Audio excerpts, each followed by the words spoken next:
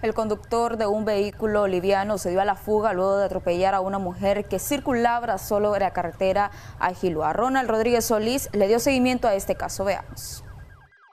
En el patio de una vivienda ubicada en el kilómetro 17 de la carretera a quedó volcado este carro después que su conductor atropellara a una fémina que caminaba a orillas de la carretera, quien resultó con golpes leves, pero fue trasladada al hospitalito de Ciudad Sandino para descartar cualquier fractura. El conductor del auto que funciona como corredor en la zona al verse implicado se dio a la fuga. Bueno, el caballero venía de sur a norte y parece que pensó que ayer era la entrada donde nosotros le decimos este, tradicionalmente la pana y al ver el, muro frenó y se le dio vuelta el carro.